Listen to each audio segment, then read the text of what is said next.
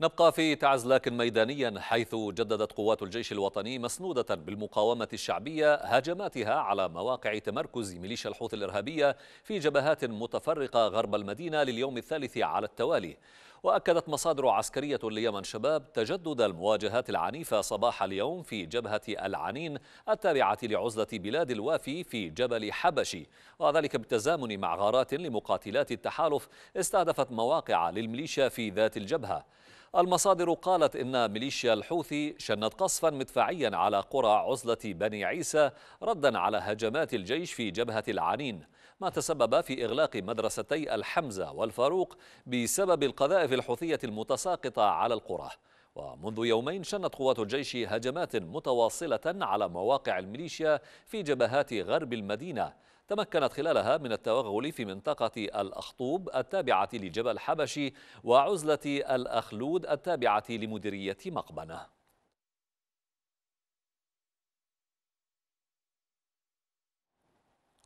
للاطلاع أكثر حول الأوضاع الميدانية في جبهات تعز ينضم معنا مراسل يمن شباب أيمن قائد. أيمن أهلا وسهلا بك. إذا كيف تبدو الأوضاع العسكرية والميدانية في جبهات تعز؟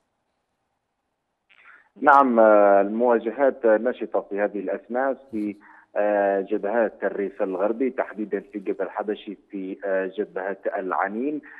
هجمات قوات الجيش الوطني مستمرة على مواقع ميليشيا الحوثية الإرهابية في هذه الأثناء وتحضر هذه الهجمات لقوات الجيش برفقة الإسناد الجوي لمقاتلات التحالف العربي حيث شنت عدد من الغارات الجوية في على مواقع ميليشيا الحوثي الإرهابية في جبهة العنين خلال الساعات الماضية وتمكنت من إلحاق خسائر كبيرة في صفوف الميليشيا على الصعيد المادي وعلى الصعيد البشري. تقول المصادر العسكرية الميدانية هشام بأن المواجهات مستمرة في هذه الأثناء وبأن تقدم قوات الجيش الوطني مستمر خلال هذه اللحظات وتمكنت القوات من استعادة السيطرة على عدد من المواقع والتلال الحاكمة في جبهة مقبنة هي الأخرى التي كانت تشهد خلال الساعة الماضية مواجهات بين قوات الجيش الوطني والميليشيا. تمكنت خلالها القوات كذلك من إحراز تقدمات ميدانية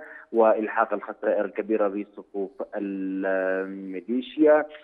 في الجبهة الشرقية كذلك شهدت الجبهة خلال الساعات الماضية أو تحديدا في فجر اليوم الثلاثاء مواجهات عنيفة بالأسلحة الخفيفة والمتوسطة بين قوات الجيش والميليشيا. لم يحرز أي تقدم بحسب المصادر الميدانية في الجبهة الشرقية. والآن تشهد الجبهة هدوءا نسبيا وهدوءا حذرا وحيث أن الجبهة الشرقية ذاتها كانت قد شهدت مواجهات خلال اليومين الماضيين وهي اشتباكات متقطعة بين الطرفين بينما في الجبهة الغربية المعارك مستمرة منذ أكثر من 48 ساعة بإسناد مقاتلات التحالف الجوي التي تقول قيادات عسكرية في محور تعز بأن هذا الإسناد أثر على سير المعركة إيجابا خلال الأيام الماضية نعم مراسل يمن شباب من تعز أيمن قائد كل الشكر لك.